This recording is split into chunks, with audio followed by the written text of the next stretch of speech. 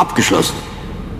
Und ich frage mich, ob wir irgendwann Dr. Gebhardt nochmal sehen werden oder ob es irgendwie nochmal eine Rückblende gibt oder sowas. Ich habe gehört, dass irgendwie mit Rückblenden gearbeitet werden soll ab Kapitel 2 hier. Ich bin mir aber nicht ganz sicher.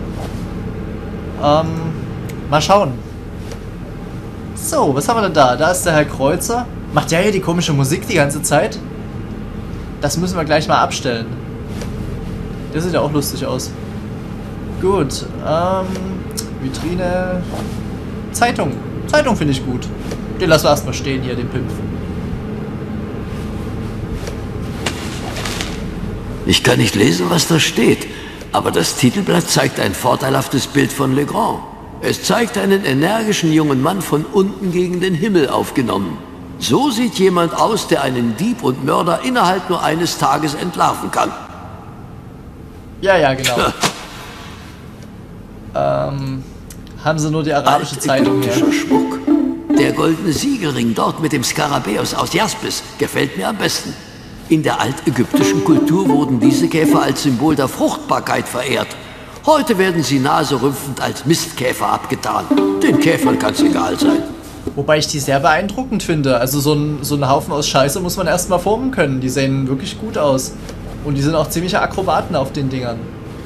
Ich muss auch sagen, diese kleinen Skarabäen-Figürchen, die gibt es dort auch überall zu kaufen. Ist halt auch so, so ein Touristending, das man dort kaufen kann. Habe ich damals auch einen mit gekauft, aber ich war da auch noch relativ klein. Ich finde den aber heute noch ziemlich schön. Die sehen schon ziemlich hübsch aus, muss ich sagen. Also es ist schon ganz nett gemacht.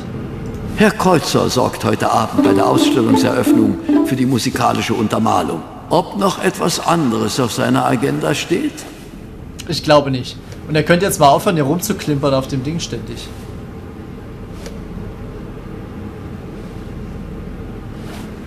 Wie ist die Akustik, Herr Kreuzer? Mäßig. Wie bei einer großen Steinhalle nicht anders zu erwarten. Oh, mäßig. Oh. Wie fühlt es sich an, unter Mordverdacht gestanden und gerade noch davongekommen zu sein? Die Sache hätte für Sie böse enden können. Sie hatten kein Alibi, es war Ihre Waffe. Ich muss zugeben, ich kann mir angenehmeres vorstellen, als von Inspektor Legrand in die Mangel genommen zu werden. Ihre Schnüffelei hat sich diesmal tatsächlich für mich ausgezahlt. Hatten Sie mich nie im Verdacht? Für den Mord? Nein, ich halte Sie für zu intelligent, um jemanden mit der eigenen Waffe zu erschießen und sich für die Tatzeit kein Alibi zu besorgen. Weiß ich nicht, ob das so intelligent ist, ganz ehrlich. Bisher hat er auf mich nicht so den Eindruck gemacht. Es scheinen gleich mehrere Schiffspassagiere heute Morgen hier zu sein. Fast alle. Ich habe mich kurz mit dem Butler der Baronin unterhalten. Unter uns. Es scheint ganz froh zu sein, die alte Fregatten los zu sein.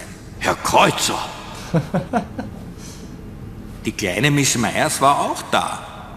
Leider scheint sie schon wieder verschwunden zu sein.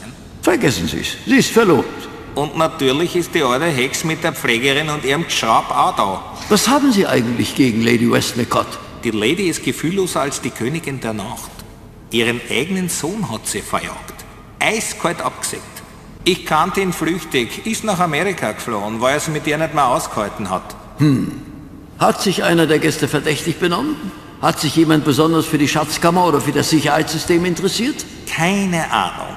Ich prüfe die Akustik, dann bin ich weg und komme erst zur Gala heute Abend wieder. Mich interessieren Ihre Detektivspielchen nur bedingt. Die Zeitungen heute Morgen sind voll mit Berichten über die Geschehnisse an Bord. Ist mir auch schon aufgefallen. Jemand muss noch vom Schiff aus die Presse informiert haben. Vermutlich hat er für die Geschichte eine hübsche Stange Geld bekommen. Und schon wieder will man mir was anhängen. Aber nein, Herr Wachtmeister, ich war es nicht. Hab nicht einmal dran gedacht. Und wer immer es getan hat, war ein Stümper. Wieso? Die Geschichte ist in allen Zeitungen. Man bekommt mehr Geld, wenn man die dreckige Wäsche der Leute exklusiv an eine Zeitung verkauft. Was glauben Sie, wer es war? Hm, der Junge, der blinde Passagier? Der Kapitän hat auf eine Anzeige verzichtet und hat ihn heute Morgen laufen lassen. Aber bis dahin saß er die ganze Zeit in der Zelle. Na dann vielleicht Miss Myers. Mitunter will sie Schauspielerin werden und braucht ein bisschen Publicity. Wer auch immer es war, er wollte die Geschichte verbreitet wissen. Und es ging ihm dabei nicht ums Geld. Nur, worum geht es dann? Nun gut, ich freue mich auf das Konzert. Es dürfte ein unvergesslicher Abend werden. Wie gesagt, ich glaube, es war der Rabe selber. um auch einfach Inspektor Legrand insofern unter Druck zu setzen, dass er nicht die Ermittlungen erneut aufnimmt, weil die Zeitungen erneut sagen, jetzt ist es abgeschlossen. Und vielleicht macht äh, auch der Dialekt aus, dass ich ihn für nicht so intelligent halte, denn ja, ich weiß auch nicht, der ist so komisch, ne? Das ist halt die, also ich kenne halt nur den, äh, um ehrlich zu sein, den Wiener Dialekt äh, von den Österreichern. Der klingt ein bisschen anders. Auch ein bisschen angenehmer, wenn auch ein bisschen hochnäsiger. Was aber auch gut zu den Wienern selbst passt. Womit ich jetzt keine Vorteile schüren möchte, aber als wir letztens dort waren, äh, um ein paar Tage Urlaub zu machen, es war schon recht beeindruckend, wie aggressiv die dort teilweise miteinander umgehen im Straßenverkehr und in der Straßenbahn und so. War schon interessant. Ähm, ja, vielleicht macht das auch einfach dieser Dialekt, ich weiß es nicht. Na gut, schauen wir uns mal ein bisschen weiter um. Das dürfte die Schatzkammer sein, in der das Auge des Sphinx ausgestellt werden soll. Die Vitrine steht schon bereit. Schön, schön. Aber erstmal reden wir mit der Wache, würde ich sagen. Gut ausgebildete Wachen sind normalerweise das beste Sicherheitssystem. Allerdings konnten sie in London gegen den Raben nichts ausrichten. Heute Abend bei der Gala wird es sicherlich von Wachleuten wimmeln. Gut möglich, dass auch die örtliche Polizei einige Beamte abstellt. Gut ausgebildete Wach... Okay, das kennen wir schon. Guter Gewalt mal in die Schatzkammer, würde ich sagen. Was anderes bleibt uns ja nicht übrig. Wenn wir reinkommen. No, Sir. Ich gehöre zur Schweizer Polizei und will die Sicherheitsvorkehrungen prüfen. Niemand darf die Schatzkammer betreten, bis die Lieferung eingetroffen ist. Tja. Okay. Dann müssen wir jetzt mal schauen, was wir überhaupt machen können.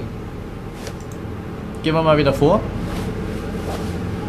Okay. Ach, wir können hier in die Haupthalle. Okay, das habe ich gar nicht gesehen vorhin. Na gut, dann gehen wir erstmal den Weg. Oho. Hier ist ja richtig was los. Wie hübsch.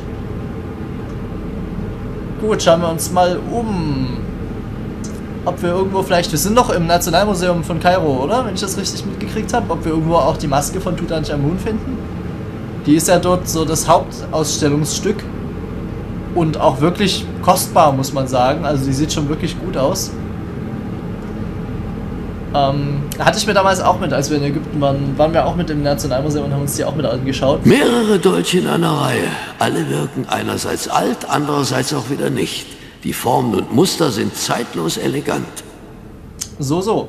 Ja, da hatten wir uns das auch mit angeschaut und äh, was ich aber eigentlich beeindruckender fand, waren die Mumien, die teilweise dort mit waren. Also da lag die, die haben einige Mumien dort äh, nur unter eine Glasvitrine quasi gepackt, also mit offenem Sarkophag, da war der Deckel dann abgehoben und da lag zum Beispiel Ramses II. rum, der ein lustiges Gesicht macht. Also, weiß nicht, ob es das bei Google gibt, aber müsst ihr euch mal anschauen. Der sieht schon lustig aus, wie er da so liegt. Fast als ob er lachen würde.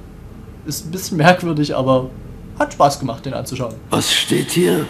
Mhm, mhm, mhm, mhm, mhm. Der Dolch links ist eine Replik des Dolches aus dem Grabe des Tutanchamun. Er muss zu dessen Lebzeiten unvorstellbar kostbar gewesen sein, weil er aus Eisen ist. Jahrtausende vor der Eisenzeit waren Meteoriten die einzige Quelle für reines Eisen. Da fällt also mit viel Primborium ein Stern vom Himmel und bringt ein unbekanntes Material mit sich, das härter ist als alles, was man zu der Zeit kannte. Kein Wunder, dass daraus eine Waffe für den gottgleichen Pharao geschmiedet wurde. Ja, und mit der Waffe könnte man dann auch gute Vorteile im Kampf erzielen. Ich glaube, das war bei den Kanaanitern in Israel gewesen. Ich glaube, die hatten oder wie rum war das denn? Doch, ich glaube, die Kanaaniter hatten äh, Eisenwaffen, Stahlwaffen, Eisen, Eisen sicherlich.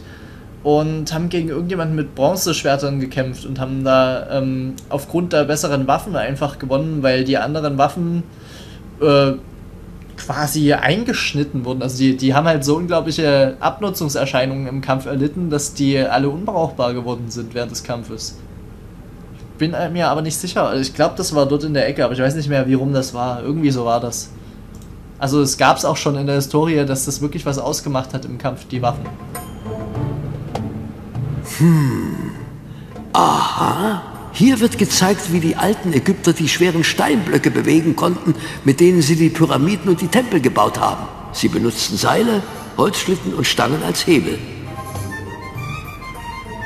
Noch irgendwas? Diese Ausstellungsstücke sind natürlich keine Originale. Sie wurden anhand alter Bilder rekonstruiert. Nee. Nichtsdestotrotz beeindruckend, wie mit so primitiven Hilfsmitteln Monumente wie die Pyramiden gebaut werden konnten. Das sind keine Originale, die großen Dinger hier. Gut, haben wir ja die Figur. Schauen wir uns die noch an. Machen wir mal eine kleine Museums, äh, einen kleinen Museumsrundgang hier, würde ich sagen. Ne? Ist doch auch ganz Eine schön. Figur von Imhotep, der in Frieden kommt, um 2700 vor Christus. Der erste namentlich bekannte Universalgelehrte. Vater der Medizin, Baumeister der ersten Pyramide und der Legende nach Erfinder der ägyptischen Schrift. Der hat in seinem Leben mehr erreicht als ich. Der ist auch sehr legendär. Der ist bekannter geworden als der Pharao, für den er die Pyramide gebaut hatte damals. Und der wurde richtig als Zauberer verehrt, wenn ich mich richtig entsinne, weil er wirklich, der war halt wirklich ein Universalgelehrter und hat wirklich viel äh, gemacht. Und auf ihn geht halt auch die erste Pyramide zurück. Ich weiß auch gar nicht mehr, wie der Pharao hieß, der die Pyramide in Auftrag gegeben hat, aber Imhotep war halt einfach viel bekannter am Ende als er, obwohl er eigentlich nur ein ganz einfacher Mann war. Und man konnte halt damals auch schon, wenn man wirklich was drauf hatte, aufsteigen. Und ich glaube, er wurde sogar teilweise fast schon als Gott verehrt, weil er eben so, äh, so gut war und so viel erreicht hat, was dann auch einfach hängen geblieben ist. Er war eine Legende. Ja. Die Griechen hielten ihn für einen Gott. Die alten Römer verehrten ihn noch 3000 Jahre nach seinem Tod. Sag ich noch ja. bis in unsere Zeit opferten Gelehrte Imhotep einen Tropfen Tinte, wenn sie ein neues Werk begannen. Wirklich beeindruckend. So, man sollte vielleicht einfach mal ab und zu den alles sagen lassen, dann brauch, bräuchte ich mir das, äh, kann ich mir eigentlich die Erklärungen sparen, die ich so im Kopf habe hier dazu. Das ist Echnaton, der einzige Pharao, dessen Bildnis ich immer erkenne. Er hat einen sehr ungewöhnlichen äh, Charakterkopf. Ja, und Echnaton ist auch ein ganz interessanter. Das ist der Vater von Tutanchamun, der übrigens eigentlich äh, bei seiner Geburt Tutanchaton hieß. Und Echnaton war der allererste, der versucht hat, einen monotheistischen Glauben zu etablieren. Ähm, vorher, also eigentlich haben die Ägypter ja ein Götterpantheon quasi äh, mit vielen Göttern, also eigentlich ein polytheistischer Glaube gewesen. Und äh, Echnaton hat entschieden, dass er nur einem Gott, ich weiß nicht, ob es den vorher schon mit gab im Pantheon oder ob er ihn dann quasi erst äh, geprägt hat, so namens Aton, dass er nur dem noch äh, folgen möchte.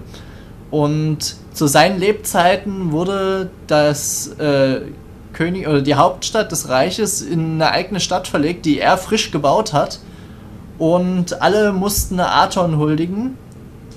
Allerdings ist das Ganze, äh, er dachte halt eigentlich, dass er damit was für die Ewigkeit macht. Wie, wie er gestorben ist, äh, ist das Ganze dann wieder erledigt gewesen, weil die Priesterkaste fand das natürlich gar nicht geil, äh, dass sie da quasi arbeitslos gemacht wurde, äh, wenn sie für andere Götter halt waren.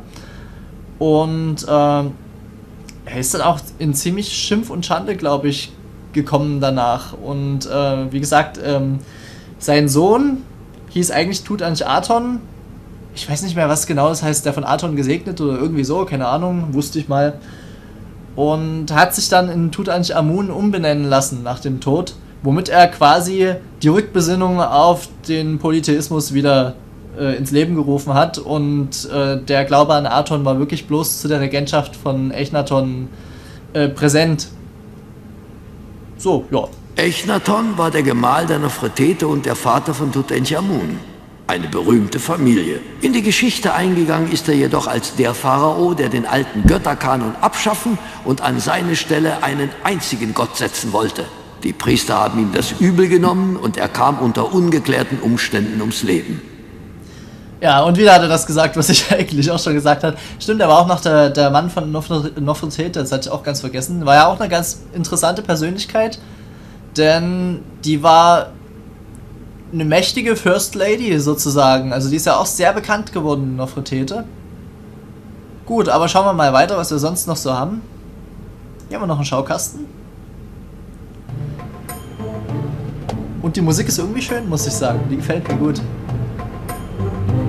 Ah, davon habe ich gehört. Wüstenglas. Aha. In der großen Sandsee, in der libyschen Wüste, gibt es eine Region, in der natürliches Glas vorkommt. Niemand weiß, wie es entstanden ist. Auf jeden Fall wurde das kostbare Material im alten Ägypten häufig als Schmuck verwendet. Aha, das kannte ich auch noch nicht. Wieder was gelernt. Schön, schön. So, ansonsten haben wir hier jetzt erstmal... Halt, was hatten wir hier? Achso, geh hinauf. Ja gut, das wollen wir nicht. Dann... Manchmal eine ganz, ganz kurze Aufnahmepause und wir sehen uns direkt wieder. Dann schauen wir mal, was wir hier sonst noch so im Museum finden können. Bis gleich.